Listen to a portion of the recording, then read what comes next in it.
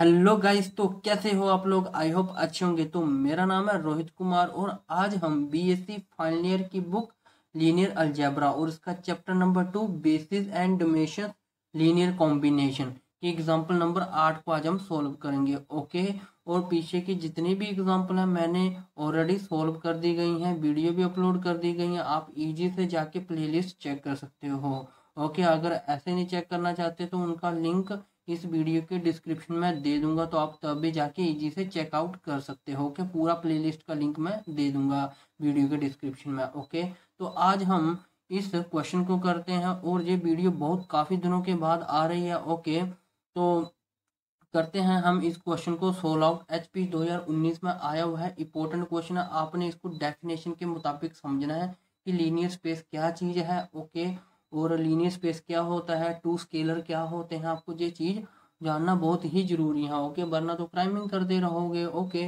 तो जल्दी से हम करते हैं इसका सोल्यूशन पार्ट को सोल्व आउट आ जाते हैं एक फील के साथ ओके तो ये आपको प्यारा सा क्वेश्चन दिख रहा है, ठीक है? बीएससी फाइनल ईयर की लव फील के साथ करना है sir love feel love feel okay example number eight है जी आपके पास दे रखा है। जी आपको पता होना चाहिए कि बी क्या है एस क्या है ओके ओके तो और नोट, हमें तो इतना भी आपको पता होना चाहिए, और नोट आ जाए तो आपका किसी भी चीज़ का वैल्यू नहीं निकलने वाला है। तो सबसे पहले हम लीनियर स्पेस की डेफिनेशन देख लेते हैं।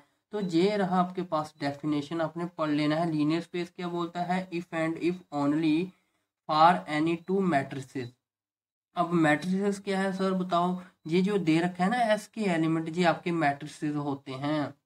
Okay A and B belong to S इतना ठीक है ना? देखो ना ये किसको बिलोंग कर रहा है? एस को बिलोंग कर रहा है। तो ये हमारे मैट्रिक्स ही हुए ना, ठीक है? एंड एनी टू ये वेक्टर गलती से लिखा गया है टू स्केलर है। अब स्केलर क्या होता है सर? ये भी बता दो अल्फ़ा बीटा ठीक है? और देखो स्केलर का फार्मूला क्या होता है? पूरा लीनियर स्पेस का, जो B is equal to alpha A plus alpha beta okay इसको ना आपकी बुक में देखो कैसे लिखा गया है?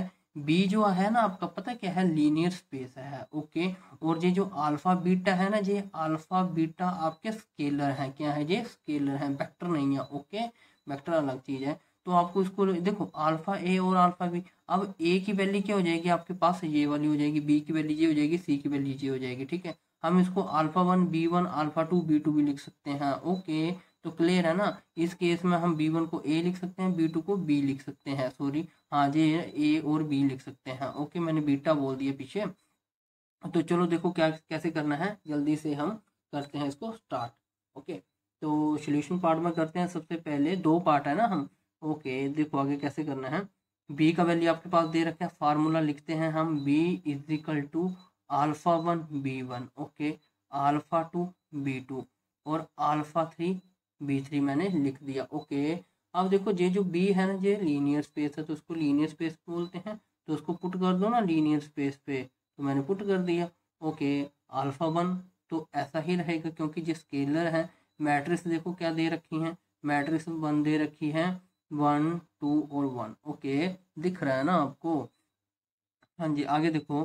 प्लस अल्फ़ा टू ऐसे लिखा जाएगा। ये देखो, दूसरी वाला मैट्रिक्स वन वन और माइनस वन ओके थोड़ा सा स्पीड पकड़ते हैं। अल्फ़ा थ्री फोर फाइव और माइनस टू देखो, काफ़ी दिनों के बाद वीडियो आ रही है तो थोड़ा सा मैनेज कर लेना। ओके तो देखो आगे कैसे करना है। ये स्केलर्स होते हैं हमारे पास टू से ज़्यादा भी हो सकते हैं स्केलर अब देखो, इसको लिख दो। वन माइनस थ्री और फाइव इसको अंदर मल्टीप्लाई कर दो। Alpha one comma two alpha one comma alpha one इसको बंद कर दो। इसको इसके साथ मल्टीप्लाई कर दो अल्फ़ा टू और ये भी अल्फ़ा टू हो जाएगा मल्टीप्लाई तो करना है। ये अल्फ़ा टू हो जाएगा, तीनों के तीनों अल्फ़ा टू हो जाएँगे। ओके और ये हो जाएगा फोर अल्फ़ा थ्री ये हो जाएगा कोमा का फाइव अल्फ़ा थ्री और आगे नहीं आएगा, ये टू अल्फ़ा थ्री और ब्रैकेट बंद कर देनी है। लव फील थोड़ा सा कट गया है ओके आगे देखो कैसे करना है। कंपैरिजन करनी है। अब ओके क्या करना है? Comparison alpha one alpha two और अल्फ़ा फोर अल्फ़ा थ्री अलग कर देने हैं। ये वाले ये वाले अलग कर देने हैं। ओके तो देखो कैसे करना है? एक ट्रिक के साथ करते हैं हम। ओके देखो ये अल्फ़ा वन आ गया। ये अल्फ़ा मतलब देखो ये एक्स ये वाई ये जेड ये एक्स ये वाई ये जेड ये एक्स आगे ये वाई आगे जेड आगे तो एक्स को एक्स के साथ वेरिएबल लेके चलना ना? हाँ अल्फ़ा वन आ गया। इसमें प्लस है। तो प्लस कर दो ना अल्फ़ा टू आगे देखो क्या है फोर अल्फ़ा थ्री इतना तो आ गया, इसको कर दो ब्रैकेट में बंद। ओके आगे देखो टू अल्फ़ा वन आगे प्लस नहीं आएगा, बीच में ब्रैकेट आएगी, ठीक है मल्टीप्लाई आएगा। टू अल्फ़ा वन बीच में प्लस है तो उसको लिखो ना अल्फ़ा टू मतलब बाई बाई वाले के साथ। अब देखो ये आ जाएगा आगे आपका फाइव अल्फ़ा थ्री इतना तो क्लियर हुआ। अब आगे देखो, आगे तो जगह नहीं है ना, नीचे लिख देता हूँ। अब देखो अल्फ़ा वन अब देखो जी प्लस है तो माइनस माइनस हो जाएगा, अल्फ़ा टू, और जे जेड है जहाँ पे आई थिंक माइनस है तो जे भी माइनस आ जाएगा टू अल्फ़ा थ्री, ठीक है, इतना आना चाहिए आपका। आगे देखो, अब जे भी X J Y J Z अब ये पूरा आपका एक्स हो जाएगा, ये पूरा आपका वाई हो जाएगा, ये पूरा अब जेड हो जाएगा, ठीक है। एक्स को एक्स के साथ रिलेट करते हैं, यहाँ से अल्फ़ा वन, अल्फ़ा टू, और फोर अल्फ़ा थ्री, ठीक है तो किसके बराबर हो जाएगा? वन के बराबर हो जाएगा। अब ओके, इसको देखो two alpha one alpha two और फाइव अल्फ़ा थ्री किसके बराबर हो जाएगा जी? माइनस थ्री के बराबर हो जाएगा। ओके इसके बाद यहाँ पे कर देते हैं थोड़ा सा। इसको अल्फ़ा वन अल्फ़ा टू और टू अल्फ़ा थ्री किसके इक्वल हो जाएगा? फाइव के इक्वल हो जाएगा। ओके इतना तो क्लियर आउट हो रहा है ना आपको? इसके बाद हम करते हैं नेक्स्ट पेज पे। देखते हैं, अगर नीचे जगह बची हुई तो नीचे कर देते हैं। है, आ जाएगा। ठीक है? बहुत सारी जगह बची हुई है। अब देखो इसको दे दो क्वेश्चन नंबर वन इसको दे दो क्वेश्चन नंबर टू इसको दे दो क्वेश्चन नंबर तीन दे सकते हो। अब जहाँ से पूछा हुआ कि नोट पूछा हुआ है, ठीक है? नोट पूछा हुआ है तो अल्फ़ा वन और अल्फ़ा टू और अल्फ़ा थ्री की वैल्यू नहीं निकल सकती। अब क्या करना है? आपने एक काम करना है, जी इक्वेशन नंबर वन और थ्री को ऐड करके देखो, ठीक है? Add equation one and three को ऐड करके देखो। कैसे करना है? इक्वेशन नंबर वन लिख दो। पूरी की पूरी लिख दो, है ना?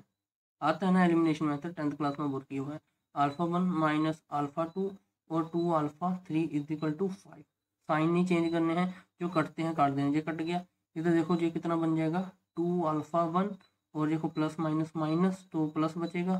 तो टू अल्फ़ा थ्री और ये बच जाएगा सिक्स इसके बाद हम देखो, यहाँ से टू कॉमन ले लेते हैं। इसके बाद यहाँ पे करते हैं। ये अलग है ओके तो टू कॉमन ले लेते हैं। तो इसमें अल्फ़ा वन और अल्फ़ा थ्री बच गया सिक्स बच गया अल्फ़ा वन अल्फ़ा थ्री तो ये कट जाएगा तो इधर बच जाएगा। तीन, एक इक्वेशन आपके पास ये आ गई। अब क्या काम करते हैं? कौन सी इक्वेशन को ऐड करना है आपने? अब टू और थ्री को ऐड कर लेते हैं ओके ऐड करना है टू और थ्री टू अल्फ़ा वन और alpha two plus five alpha three ठीक है? लिख देना है आपने, और आगे देखो माइनस थ्री और ये वाली इक्वेशन लिख दो। अल्फ़ा वन अल्फ़ा टू और टू अल्फ़ा थ्री और ये फाइव आ जाएगा, ठीक है? जो करते हैं काट दो भी गया तो टू अल्फ़ा वन और अल्फ़ा वन ये आ गया थ्री अल्फ़ा वन ओके, पाँच में से दो गया तो बचेंगे सर तीन, और पाँच में से तीन गया तो बचेंगे दो। इतना तो क्लियर आउट है ना? आगे देखो, तीन तीन कॉमन ले लो। तो alpha one alpha three okay. तो इधर बच गया टू तो टू सॉरी तीन कहाँ चला जाएगा? टू के डिवाइड में चला जाएगा तो टू बाई थ्री हाँ जी, ये बन गए आपके पास अल्फ़ा वन और अल्फ़ा अल्फ़ा वन और अल्फ़ा थ्री की वैल्यू बन गई टू बाई थ्री और जहाँ पे भी अल्फ़ा वन और अल्फ़ा थ्री की वैल्यू बन जाएगी थ्री अब क्या करना है, इन दोनों को सब्ट्रैक्ट करके देखो। क्या करके देखो, या ऐड करके देख लो या सब्ट्रैक्ट करके देखो। सब्ट्रैक्ट कर लो इन दोनों को अल्फ़ा वन और अल्फ़ा टू की वैल्यू निकलती है, इसको सब्ट्रैक्ट कर दो और इसको सब्ट्रैक्ट कर दो। तो देख लो alpha one alpha three is equal to three मैंने लिख लिया। अब ये लिख दो। Alpha one alpha three two by three अब साइन चेंज कर दो। ठीक है? जे भी साइन जे भी साइन जे भी मर गया जे भी मर गया। तो मतलब जे भी ज़ीरो बच गया जे भी ज़ीरो बच गया। तो उसका निकालने को कोई जे ही नहीं है। ठीक है? तो सभी ज़ीरो ज़ीरो बन गए जे भी कट गया जे भी कट गया तो जे पूरा का पूरा ज़ीरो हो चुका है।